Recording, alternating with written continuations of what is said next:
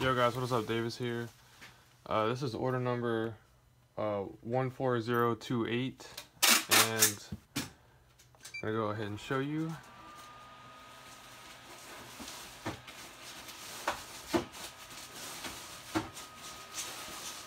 It's got the uh, addressable LEDs in there, so you can change them.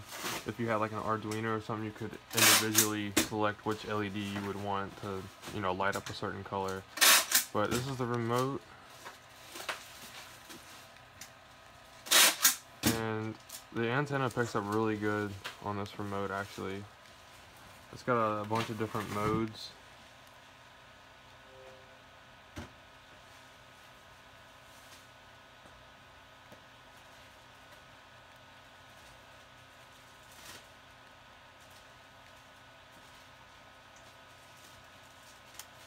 And then when it's one color like this, you can do the color shift. So you can change the color to what you want and you can cycle through the colors. So as you, you see, they're changing and it's still fading.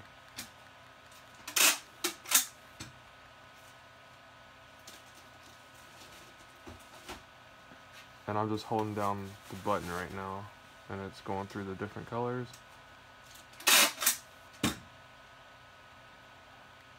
So I'm just going to leave it on blue. And then we can go to the different ones. So you can also do the color change on this one as well.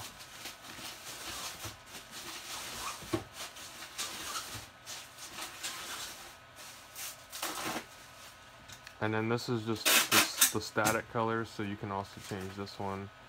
Um, I'll go through these. Maybe I'll leave it on green.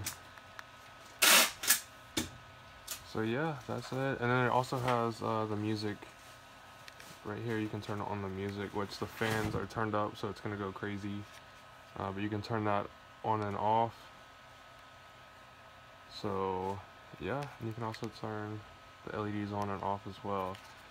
So yeah guys, I'm gonna leave it on that for now. And we got consoles that we're shipping today. So um, yeah, we're gonna ship those out. And yeah, I'll talk to you guys later. Y'all have a great day.